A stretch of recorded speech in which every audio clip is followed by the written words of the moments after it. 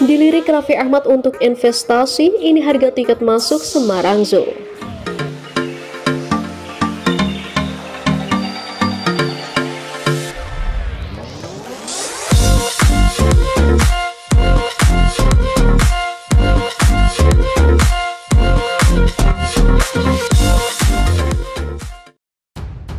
Dikutip dari solopos.com Semarang, Semarang Zoo atau yang populer disebut Bonbin Mangkang tengah menyita perhatian publik kota Semarang setelah diminati investasi oleh artis Raffi Ahmad. Berikut harga tiket masuk Semarang Zoo yang menjadi salah satu destinasi atau tempat wisata andalan di kota Semarang, Jawa Tengah. Pasangan selebritis Raffi Ahmad dan Nagita Slavina baru-baru ini memang berkunjung ke Bonbin Mangkang atau Semarang Zoo tepatnya saat libur Natal pada hari Minggu. Keduanya pun dikabarkan hendak berinvestasi di Bonbin Mangkang atau Semarang Zoo itu.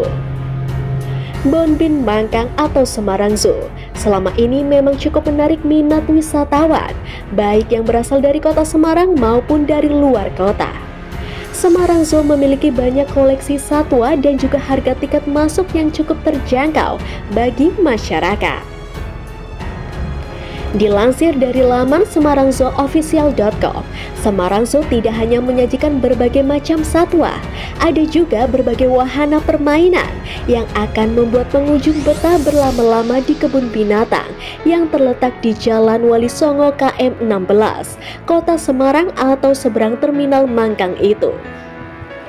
Total ada 8 wahana permainan yang disajikan pengelola Semarang Zoo, mulai dari tunggang kuda, kereta mini, feeding Herbie, waterboom, zoo and venture, perahu naga, play zoo, hingga ATV zoo.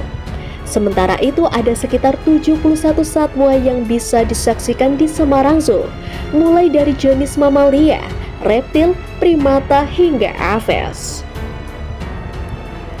Koleksi satwa di Semarang Zoo ini pun akan bertambah pada tahun 2023. Kepastian itu disampaikan General Manager Semarang Zoo Awaludin kepada solopos.com pada hari Senin kemarin. Ia menyebut tahun 2023 nanti Semarang Zoo akan menghadirkan satwa baru berjenis non-endemik.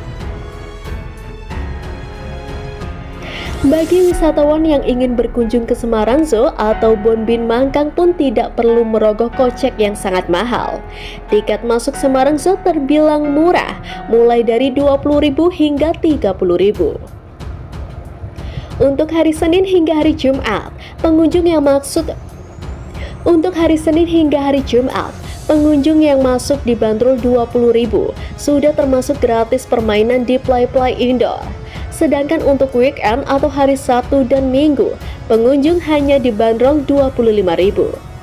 Sedangkan untuk hari-hari libur nasional, harga tiket masuk Semarang sedikit lebih mahal yakni Rp30.000 dan sudah termasuk tiket masuk ke wahana Play Play Indoor. Dapatkan update berita pilihan dan breaking news setiap hari dari Alin Official. Jangan lupa komen, like, dan subscribe supaya kalian tak ketinggalan berita artis tanah air Indonesia. Woo.